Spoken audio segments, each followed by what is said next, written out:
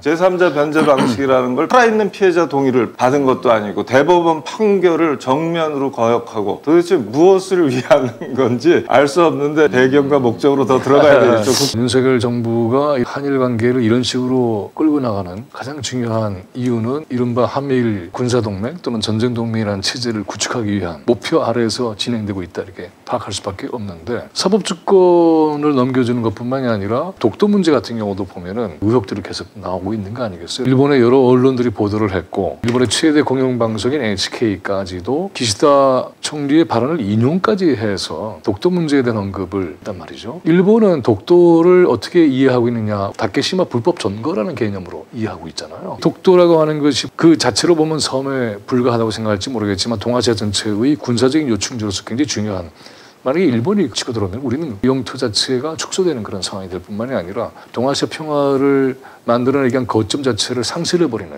이번에 이 해상자위대가 들어왔다는 거 아니겠습니까? 여기에 대해서 강력하게 문제 제기를 하고 그렇게 하지 못하도록 만들어야 되는 것이 영토 보존의 의무를 갖고 있는 국가 원수의 최고 책임일 텐데 그걸 방기했다.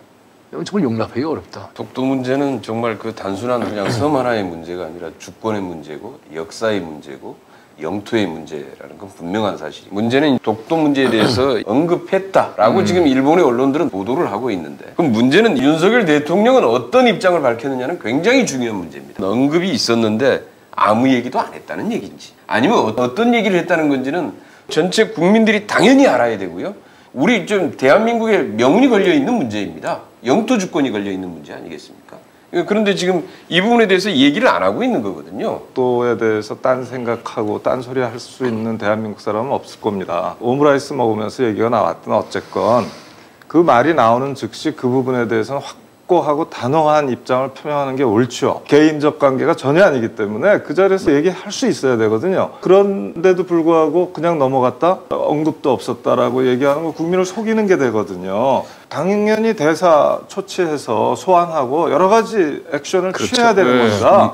근데 그런 게 없는 거를 보면 우리는 의심으로 자꾸 기울 수밖에 없다. 독도 문제를 어, 단순히 주권, 영토, 역사로 끝나지 않고 동아 전체를 의 평화를 뒤흔드는 사건이다. 일본이 평화헌법을 어, 지속시키고 있는 만큼 현재의 기시다까지 포함을 해서 평화헌법에 대한 수정 과정이 너무나 일본 국내 정치로 어려우니까 아예 건드리지 않고 할 수 있는 방법을 좀 찾아서 이렇게 하는 거 아니겠습니까? 동아시아 평화를 위해서 독도의 의미 이것은 잘못하면 일본이 재침략의 기반이 될 뿐만이 아니라 동아시아 전체를 전적으로 위협하는 그러한 기반이 될 텐데 괜찮겠는가까지 포함을 해서 65조, 66조 등등의 헌법상의 대통령의 임무를 저버린 것으로 봐서 당연히 사실과 법리가 모두 요건을 충족하기 때문에 국회 내에서 탄핵을 당연하게 제기해야 된다고 보고 촛불 행동 같은 경우에는 국회가 탄핵심의위원회를 만들어라. 시민사와 같이 손을 잡자. 어떤 문제가 있는지 그리고 적어도 이것을 밀어붙일 수 있는 것인지를 검토하고 문제를 제기하고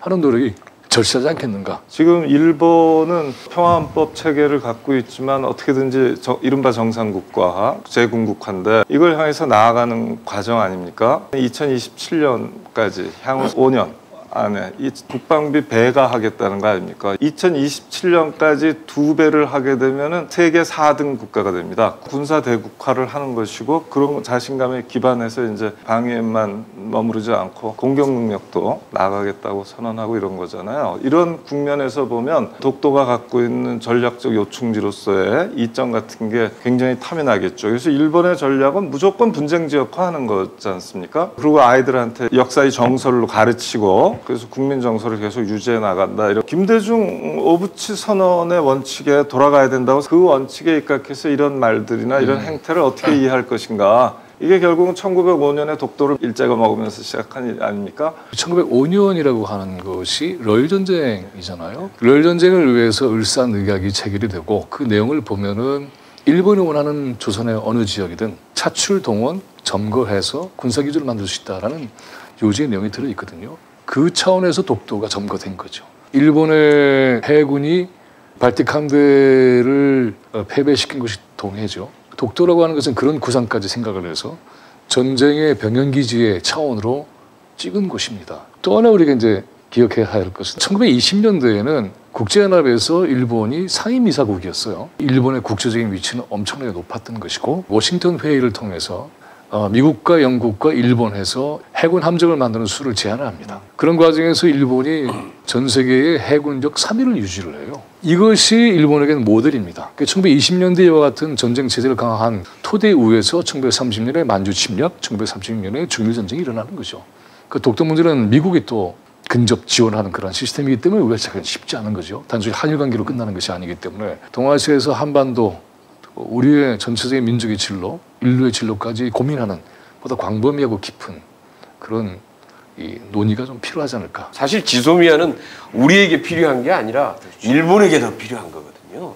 수출 규제도 일본 기업이 더 절실한 문제입니다. 오히려 일본 기업들이 이제 그 수출을 못 해가지고 문 닫게 생겼으니까 일본 정부에다 대고 수출 규제 이거 해제하라고 계속 요구를 해왔던 사안인데 우리 또 대통령이 가서 일본 기업의 민원까지 착실하게 해결해 준 이러한 흐름들이 미국의 전략, 일본의 이해관계가 맞아 들어가는 면이 하나가 존재하고 이 과정에서 미국 같은 나라는 사실 강제동원 피해자들의 이익이나 국익에 상관이 없어요. 이 미국의 입장을 우리가 역으로 사실 지렛대로 활용한다면 일본을 좀 더 압박해서 사과와 반성을 받아내고 강제동원 피해 배상을 받아내는 전략으로 썼어야 되는데 되려 그냥 우리가 알아서 다 포기해버리고 일본의 요구대로 다 수용해버렸다는 것이 이제 가장 큰 문제. 과거에 아시아 태평양 전쟁이 일어난 것은 일본의 대동아 공영권을 독점적으로 주도한 사건 때문에 미국과 이해가 충돌됐는데 이번에는 그 전략을 바꿔서 일본은 미국의 승인을 받은 새로운 대동아 공영권을 건설하는 거죠. 그래서 미국의 승인 하에 이루어지는 것이니까 마음껏 할 수 있는 시스템이 되는 것이고 우리의 식민지 과정도 탭트카츠라 조약 다 기억하시겠지만은 미국의 협조 없이는 불가능했던 것을 떠올려다 보면 지금도 본질적인 이러한 토대나 지향점은 별로 다르지 않다. 이런 식으로 해서 이 나라가 끌려가는 게 타당한 것인가? 그래서 아까 얘기 들었던 것처럼 탄핵이라는 것이 지금 3분의 2 이상이 국회에서 안 된다 할지라도 민심은 폭발하고 있고 민심을 빨아들이는 정치에 출구가 없기 때문에 생기는 문제인데 그 출구를 예를 들어서 탄핵심의위원회 같은 것을 시민사회하고 결합을 해서 논의를 하기 시작하면은 향후의 정치 정세를 만들어내는데도 굉장히 중요한 축이 하나 우리한테 주어지지 않을까 이런 기대를 하게 됩니다. 과락이 40점 아니에요. 예.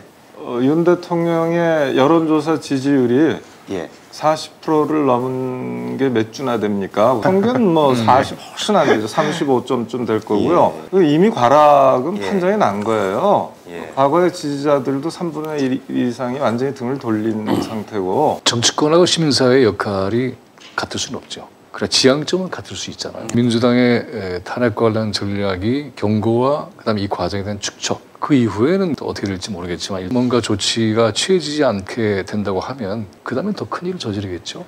이번에 이 사태는 너무나 큰 사태인데 이런 것들이 계속 축적되어 와서 우리 사회와 국가의 운명을 지속적으로 훼손시키고 있는 것이고 훼손의 규모나 질도 점점 심각해지고 있는 거죠. 그러면은 이걸 기다려야 되는 게 맞는가? 심각해지는 과정에서는 굉장한 피해가 발생할 텐데 도리어 피해가 발생하기 전에 선제적으로 정리를 해야 되는 게 아닌가 하는 생각을 하게 돼요. 강력한 제동을 거는 것은 매우 필요하다. 지금 보면은 박근혜 정부 때에는 야수 여대였어요. 지금은 아니잖아요. 민주당이 더 크잖아요. 얼마나 심각하게 우리 국가의 미래를 훼손시키고 망가뜨리고 있는가 하는 것에 대한 이야기 또 산역사에 대한 얘기가 끊임없이 정치권에서 나온다고 한다면 그것이 갖게 되는 여파는 굉장히 다르다고 봐요. 그런 점까지 내다보는 것이 정치권의 책임이 아니겠는가. 민주당이 보다 좀 강력한 정치적 전투력을 발휘하게 된다면 좀 더 나은 세상이 되지 않을까? 탄핵을 포함해서 국회가 갖고 있는 법적 권한들은 헌정의 적용이에요. 미국에서 트럼프 시절에 하원에서 몇 석 차이 안 나는 정도로 민주당이 많았을 뿐인데 두 번 탄핵하지 않습니까? 그렇죠. 상원에서 안 됐을 네. 뿐이지. 국민이 위임한 권한은 국민이 언제나 회수할 수 있는 거예요. 그리고 이 정도로 사유가 쌓이면 맛을 보여주긴 해야 됩니다. 너무 여러 가지를 고려하면은 법적 권한을 하나도 행사 못 하게 돼요. 법적 권한을 행사하기 전에 정치적 과정이라는 게 있지 않습니까? 그래서 그 과정을 그냥 밟아 나가도 된다. 비극은요. 아직 이게 1년도 안 됐다는 거. 이게 비극이고요.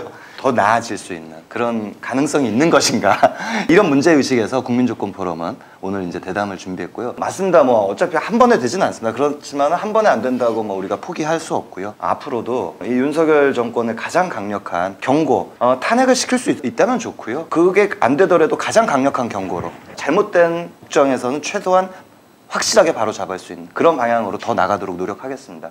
오늘 이렇게